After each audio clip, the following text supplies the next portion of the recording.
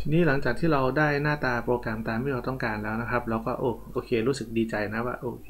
เราสามารถเขียนโปรแกรมได้ละได้เป็นแอปพลิเคชันหน้าตาล็อกอินเป็นแบบนั้นเป็นแบบนี้ตามที่เราต้องการนะครับ แต่ทีนี้บางคนนะถ้าเขียนโดยใช้มือถือนะครับ เวลาเอามือถือมาทดลองนะครับ มันอาจจะมีการพลิกหน้าจออะไรเงี้ยแต่พอพลิกหน้าจอปุ๊บจะเกิดเห็นเห็นสิ่งประหลาดขึ้นมานะครับ ตัวอย่างเช่นนะครับ ถ้าในตัวนี้นะครับในตัว อะไรนะตัว emulator นะครับอาจารย์ไปพลิกหน้าจออาจารย์กด 3 ปุ่มตัวนี้ครับ แล้วก็สั่ง rotate screen นะครับ สั่ง rotate screen คือหมุนหน้าจอพอหมุนหน้าจอเสร็จปุ๊บมันจะเกิดปัญหาขึ้นมาเป็นแถบสีเหลืองๆขึ้นมา มันบอกว่า เฮ้ย ไอสิ่งที่คุณดีไซน์มา เวลามันอยู่ในหน้าจอแนวนอนเนี่ย มันจะล้น มันจะล้น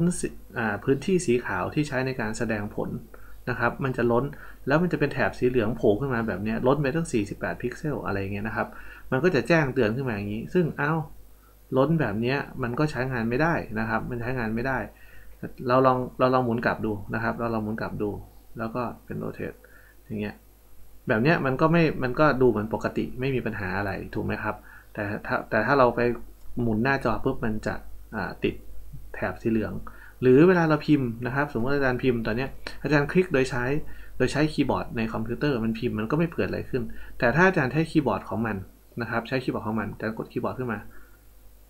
เอ่อตัวนี้เป็น virtual keyboard กดตรงไหนเอ่ยไม่ต้องใช้ใช่ไหมโชว์ virtual keyboard ปึ๊บเห็นไหมโชว์พอคีย์บอร์ดโชว์ขึ้นมาปุ๊บแถบเหลืองขึ้นมาอีกแล้ว เพราะว่าไอ้รูปภาพของเราเนี่ยหน้าจอของเราเดี๋ยวหรือ widget ต่างๆ ของเราเนี่ยมันมีพื้นที่แสดงผลน้อยนะครับ แล้วมันก็จะติดบอกว่าเฮ้ยติดตัวตัวคีย์บอร์ดนะครับ มันทำให้เราไม่สามารถที่จะเลื่อนอะไรได้นะครับ ตัวนี้เกิดจากอะไรครับ ตัวนี้เกิดจากว่า ตัวนี้เกิดจากว่าวิดเจ็ตนะครับ ประเภทประเภทคอลัมน์หรือแม้กระทั่งประเภทโรนะครับ เป็นวิดเจ็ตที่ไม่สามารถที่จะขยายตัวเองแล้วก็เลื่อนไปเลื่อนมาได้ มันมีเท่าไหร่มันก็โชว์อยู่เท่านั้น ถ้าพื้นที่มันมีน้อย ถ้าพื้นที่มันมีน้อย มันก็จะ เป็นแถบสีเหลืองขึ้นมาเหมือนเมื่อกี้เนี่ยนะครับ มันก็จะคล้ายๆว่าตี error นะครับ ฉะนั้นเราต้องไปดูว่า widget อีกตัวหนึ่งที่สามารถมาแก้ไขตรงนี้ได้จะต้องเอาตัวไหนมาช่วยนะครับ widget ที่เอามาช่วยนะครับ widget ที่เอามาช่วยเนี่ย มันจะมีชื่อว่า เดี๋ยวจารย์ย้อนย้อนกลับไปที่ตัว layout ตัวนี้ก่อนครับตัว widget นะครับ ไหนล่ะ widget catalogนะครับ ตัวเบสิกนะครับ มันจะมีวิดเจ็ตอยู่ตัวหนึ่งเลื่อนลงมาไม่ใช่ตัวนี้สิ มันน่าจะอยู่ตรง scoring ก็คือการเลื่อนนะครับ กรณีที่มันมีลูกหลาย ๆ ตัวแล้วต้องการจะเลื่อนหน้าวิดเจ็ตให้มันไม่เกิดแถบสีเหลืองก็คือ scoring นะครับมันจะมีวิดเจ็ตตัวนึงชื่อว่า list view list view ตัวนี้เห็นไหมครับ มันจะเป็นเลื่อนไปเลื่อนเลื่อนเลื่อนเลื่อนเลื่อนขึ้นได้ เลื่อนขึ้นได้มันมันจะไม่ค่อยมันจะไม่มีปัญหาเหมือนอตัวคอลัมน์ ฉะนั้นเราจะใช้ถ้าถ้าสมมติว่าสิ่งที่เราต้องการแสดงผลเนี่ยมันล้นหน้าจอมันล้นหน้าจอนะครับ เราจะไม่ใช้คอลัมน์ ในการแสดงตรงๆ เราจะเราจะใช้เป็นสิ่งที่เรียกว่า list view เข้ามาช่วย ฉะนั้นถ้าเราใช้ list view นะครับ เราใช้ list view เนี่ย เราจะแก้ไขยังไงดี เราจะแก้ไขยังไงดี เราสามารถที่จะแก้ไขโดยที่เอา list view มาครอบคอลัมน์ไว้ก็ได้นะครับ ถ้าสมมติเราจะเอา list view มาครอบคอลัมน์ไว้เนี่ย ตอนนี้เป็นคอลัมน์ใช่ไหม เราก็จะต้องเอาเอามาเพิ่มหรือว่ามาใส่ไอตัวเขาเรียกอะไรมา wrap ตัวนี้ก่อนนะครับ แต่ทีนี้ในบางกรณีเราไม่ไม่จำเป็นต้องมา มาครอบคอลัมน์นะครับ เราเปลี่ยนจากคอลัมน์เป็น list view ไปเลยจารย์ก็จะเปลี่ยนจากคอลัมน์นะครับเป็น list view นะครับจารย์ก็พิมพ์เป็น list view นะครับเป็น list view list view จะสามารถเลื่อนขึ้นเลื่อนลงได้แต่ว่า list view เนี่ยมันไม่มีครับมันไม่มี property ที่ชื่อว่า main axis alignment เพราะว่า list view มันจะอยู่แนวตั้งนะครับ มันไม่ต้องมี main axis alignment ฉะนั้นตรงนี้อาจารย์จะ comment ไว้นะครับ comment ไว้ เสร็จแล้วอาจารย์ก็ save ครับอาจารย์ก็ save save ปุ๊บนะครับ พอ save ปุ๊บ มัน มันตัวตัวไอคอนแล้วก็ตัวเทคต่างๆของเรามันเด้งขึ้นไปอยู่ข้างบนนะครับเด้งขึ้นไปอยู่ข้างบนเลยพอเด้งขึ้นไปอยู่ข้างบนเสร็จปุ๊บแต่อย่างไรก็ตาม ถ้าอาจารย์หมุนนะครับ ถ้าอาจารย์หมุนหน้าจอนะครับ ลองดูนะหมุนหน้าจอ แถบสีเหลืองจะไม่ขึ้นมาเห็นไหมครับ แล้วเราก็สามารถไถไถขึ้นไปได้เห็นไหมมันก็จะไม่เกิดปัญหาเรื่องแถบสีเหลืองละนะครับไม่เกิดปัญหาเรื่องแถบสีเหลืองที่เป็นตัวทำให้ล้นจอนะครับอาจารย์ก็หมุนกลับคืนมาครับ พอหมุนกลับคืนมาปุ๊บเนี่ย ก็ได้หน้าตาเหมือนเดิม แต่ว่าสิ่งที่เราต้องการจำได้ไหม เราต้องการให้ทั้งหมดเนี่ยมันมาอยู่กลางจอ มีพื้นที่ข้างบน มีพื้นที่ข้างล่างนะครับ แต่ตอนนี้มันล้นขึ้นไปอยู่ข้างบนนะครับ ฉะนั้นเราก็ต้องมาเซต property นะครับของตัว list view ว่าทำยังไงให้ทั้งชุดเนี้ยหล่นลงมาอยู่ตรงกลางให้ได้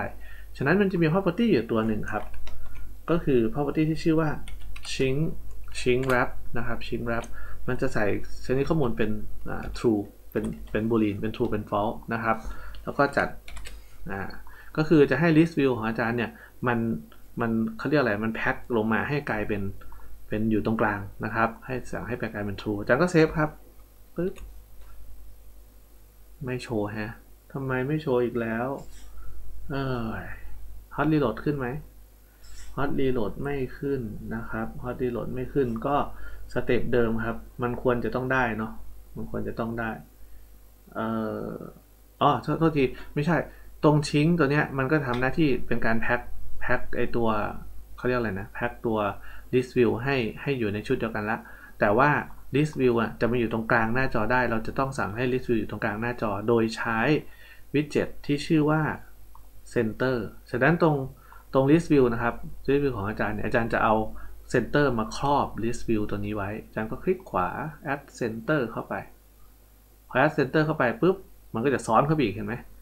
ซ้อนเข้าไปอีกว่า ตอนนี้นะครับ scaffold ของเรามี container container มี center center มี list view list view มีซ้อนซ้อนเข้าไปเห็นไหมจะเริ่มความซับซ้อนเข้ามาในนี้ ซับซ้อน แต่ว่าถ้าเราจัดรูปแบบได้สวยมันก็จะไม่มีปัญหาอะไรนะครับ ทีนี้พอเราใส่ center เข้ามาตรงนี้ปุ๊บนะครับ เราเซฟครับหล่นลงมาอยู่ข้างล่างแล้วตามที่เราต้องการเห็นไหมครับ แต่ถ้าเราไม่ใส่ไอ้ shrink wrap shrink wrap ตัวนี้นะครับ เราก็เซฟนะ อ่ามันก็ได้เหมือนกันนี่ใช่ไหมไม่ต้องใส่ชิงแรปอ๋อไม่ได้นี่ถ้าไม่ใส่ชิงแรปตัวเนี้ยมันก็จะไม่มันจะไม่รู้ว่ามันจะมีพื้นที่เท่าไหร่ในการแสดงผลมันก็จะไปติดข้างบนเสมอ แต่ถ้าเราใส่ตรงนี้นะครับ ใส่ตรงนี้